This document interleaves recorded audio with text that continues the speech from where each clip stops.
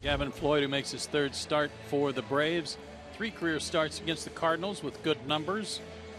31 years old, 6'4, 235 out of Baltimore. Went to the same high school as Mark Teixeira, only a couple of years behind him. And he did. Swing and a miss at a breaking ball. And he did. Fly ball well hit to right. Heyward is back, and he's going to have room. What a job by Gavin Floyd. Two on, nobody out, and the Cardinals can't break through. Toward third. Chris has it. Uggla the turn at second. High throw, but Freeman able to get back to the bag in time. And that one pops away from Laird. Bourjos can fly. Laird's throw to first is going to be late. And a fly to right.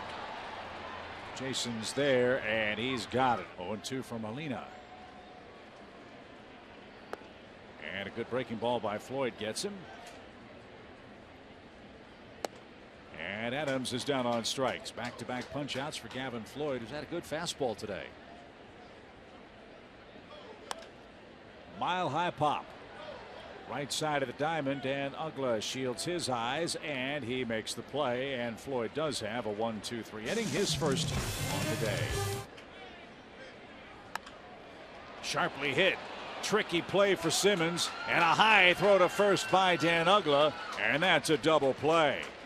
Beautifully turned on a tricky hop for Simmons. Runner goes Molina, and a ground ball toward third.